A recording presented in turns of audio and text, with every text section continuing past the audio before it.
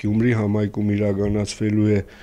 մոր եւ մանգան ավստրական հիվանդանոցի կդուրի վերանորոգման աշխատանքները, հոգեկան առողջության կենտրոնի վերանորոգման աշխատանքները, 7-րդ դպրոցի պատուհանների փոխարինման աշխատանքները Շիրակի մարզպետարանի ճարտարապետաշինարարական բաժնի առաջատար մասնագետ Մկրտիչ Ասատերյանը ցանկում թվարկելու էլի հաստատություններ ունի, որոնք Շիրակի մարզում առաջնահերթ լուծում պահանջող խնդիրների թվում են եւ ճանաչվել են որպես ծրագրի շահառուներ։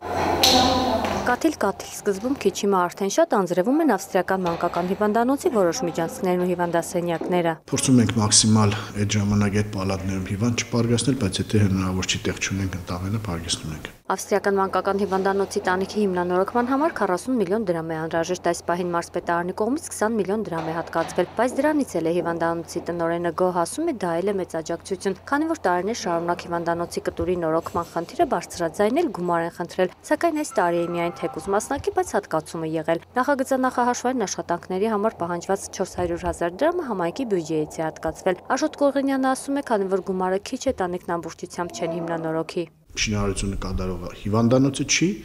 բայց ես առաջարկել եմ, որ բոլոր ստացիոնար պաշտոնները, որտեղ հիվանդներն են բարգած, այդ մասը ոչ թե մասները լրիվ փոխվելու է։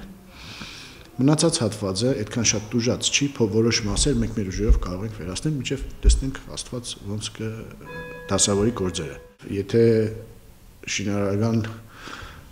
բոլոր մասերը լինեն, թիթեղը լինի եւ այլն, չեմ կարծում որ շատ երկարատև ժամանակ խլող աշխատանք է հույս ունեմ որ կարնան օրերին կարողանան արագ